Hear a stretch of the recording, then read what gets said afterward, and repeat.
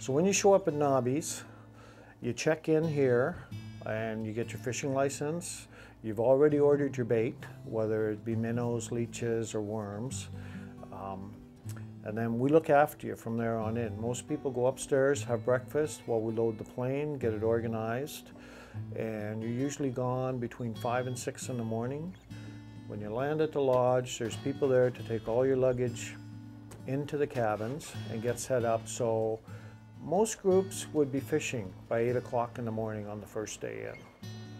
There's fish cleaning shacks. They'll clean the fish for you if that's what you want. If you don't want that, you can clean your own fish.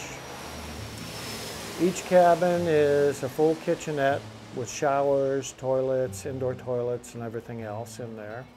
We also have a main kitchen if the bigger groups want to cook, not in the cabins, but somewhere else they can cook uh, in that place, and it's set up to take big groups.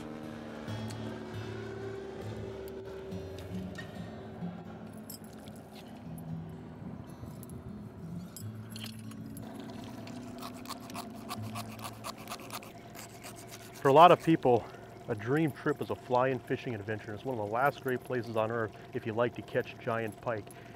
Roads less traveled, less civilization, and a lot of great fish. And we're going to showcase one of these great opportunities, one of the last great places to catch big pike and walleyes on today's show. Nice fish. Yeah, that's a nice pike there, Mort. That's a beauty there. Don't these fish just have beautiful color? And you know, part of the mystique of this area is just all the exploring. Every bend, every island is a new adventure. I'll let this fish back in the water. There you go, girl. There. And there's just so many different neat options, not just for pike, but we'll touch on the patterns that you can find walleyes on. Lake trout are typically in deep water where you can either troll or jig for them, but typically too, on these fly-in camps, you're not allowed to pack a lot of gear. A lot of times 100 to 125 pounds a person is all you get, and so you have to travel light, pick just a few key lures, couple rods, your sleeping bag and a pillow and your food, and that's about all you get to bring. But that's part of the fun of it. You don't have all the fancy equipment, but really in places like that, you don't really need it. Jason Mitchell Elite Series Rods brings you the daily log entry.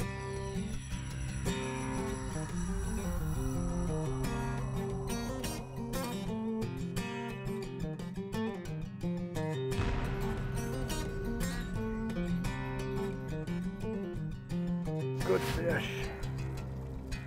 There, look at that. One better. That's a nice one. That was cool. see if I can get my hands on it here.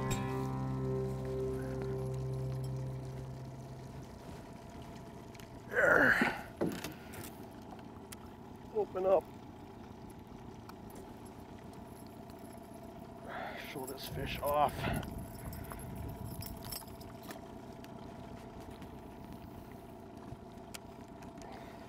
Jaws on that fish. That's a that's a dandy there. Boy, that fish was fun. That fish just came right up out of the cabbage just like it should and just ate it as a big boil behind that lure the first time he hit it and got her the second time. We'll get this fish back in the water.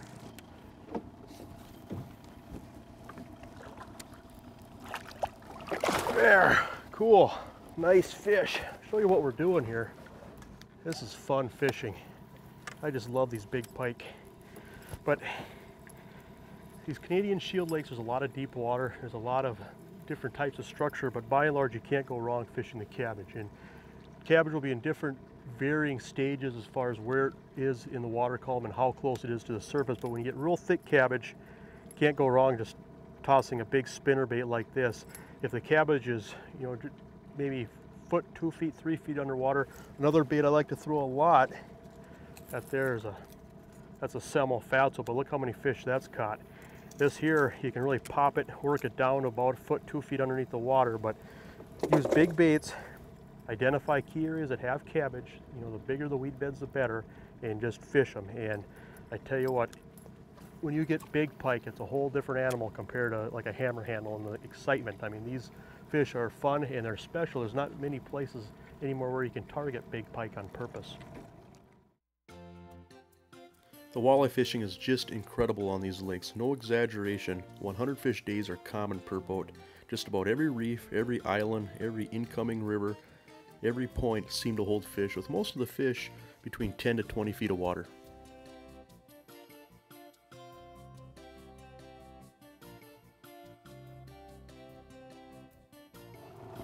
There's a fish. Oh yeah, there's a beauty.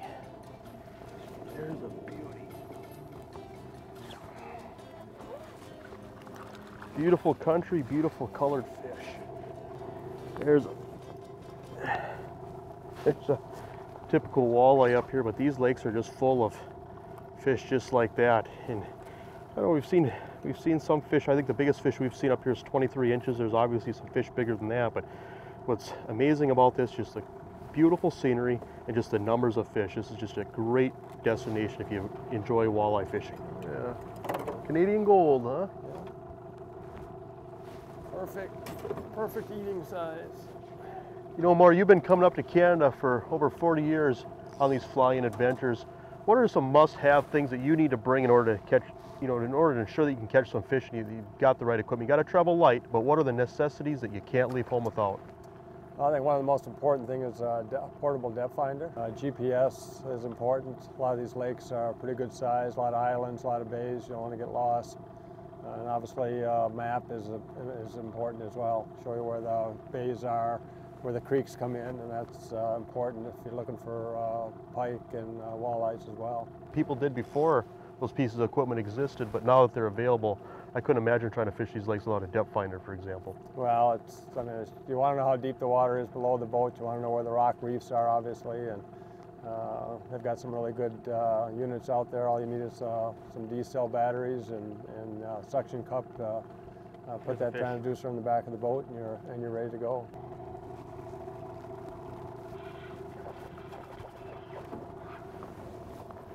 There. Now you look at this fish here. Most of these fish have teeth marks on them. And Knobby's, they supply bait on their fly-ins, but I tell you what, whenever you're up here in the middle of nowhere, definitely want to have some soft plastics along because you'll never run out of bait that way. That's just an impulse paddle tail, but stock up on some impulse whenever you come up into Canada because long after you run out of bait, you'll realize that it catches fish just as good as live bait. Mort, you know, this water's just got that coffee color that's typical of a lot of these Canadian shield lakes, but there's, this, there's different types of lakes, and you often try to find out, you know, what type of lake you're fishing before you fly in so you can better prepare. Why don't you discuss some of the things that you've seen fishing in Canada? Well, one of the things, if a lake has lake trout in it, it's going to have a lot deeper water, probably 100, 120 feet of water. Water will be typically a lot clearer than uh, it will be in a, uh, you know, one of these shallower lakes that doesn't have lake trout in it. If it does have lake trout, obviously you want to bring some different lures uh, that lake trout will, will hit depending on the time of the year. If it's uh, you know, a shallow lake, it's going to be stained water, and the walleyes, the northern, should be a lot shallower. Uh, and that's nice to know as well. So you want to know what kind of fish are in the lake, and you want to be prepared uh, depending on what's, what fi- fish you're after, really. This is fun stuff.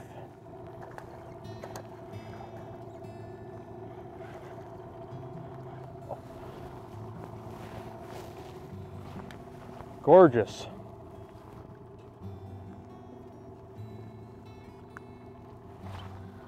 Wow, I tell you what, I can't recommend this place enough if you're just looking for an adventure in Ontario where you want to experience a fly-in fishing camp that is very deluxe accommodations. You're going to be comfortable up here. These are the nice, some of the nicest cabins I've ever seen in Canada, especially for a fly-in. Great facilities, really nice accommodations, especially for a fly-in camp on remote lakes.